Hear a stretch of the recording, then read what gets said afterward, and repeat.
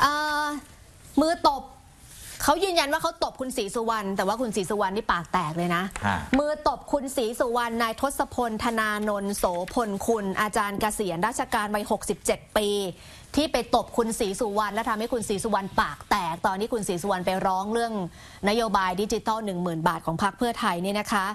เมื่อวานนี้คุณทศพลไปรับทราบข้อกล่าวหาค่ะ แล้วเขายืนยันว่าไม่ได้ชกเขาไปตบนะ แล้วก็ส่วนที่คุณศรีสุวรรณมีการบอกว่าจะเรียกร้องค่าเสียหาย 1 ล้านเนี่ยก็ต้องมาดูว่าค่าเสียหายที่เรียกมามันสมเหตุสมผลไหมายืนยันว่าเขาตบเพื่อชาติค่ะ ตบเพื่อชาติเหรอตบเพื่อชาติค่ะอ๋อ นะคะ อาจารย์บอกผมตบเพื่อชาติ และเป็นเพราะความหมั่นไส้ หากนายศรีสุวรรณจะเรียกร้องค่าเสียหายจำนวนเงินดังกล่าวจริง ๆ ตนก็จะยอมติดคุก เพราะไม่มีเงิน ครับ แล้ววันที่ให้สัมภาษณ์นักข่าวว่าเมื่อวานเนี้ย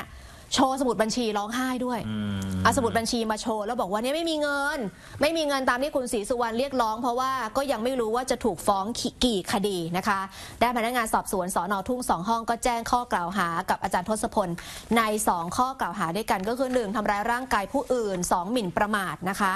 หลังจากที่สอบปากคำเสร็จก็นำตัวส่งฟ้องศาลแขวงดอนเมืองต่อไปค่ะ ครับอ่าเห็นว่าคนก็บริจงบริจาคอะไรให้แกเยอะอยู่นะ ค่ะอ่าค่ะ นะแต่ว่าเอาแหละเรื่องแบบนี้จะจะไปอ้างเพื่อจงเพื่อชาติอะไรเดี๋ยว คุณศรีสุวรรณแกก็บอกแกก็ไปร้องเพื่อชาติเหมือนกัน ใช่ทุกคนก็มีเหตุผลเออของตัวเองในการทำเพื่อชาติ แต่มันก็ไม่ใช่สิ่งที่เป็นเหตุผลทุกคก็อ้างพื่อชาตินะแล้วก็ตะลุกตุบตับกันก็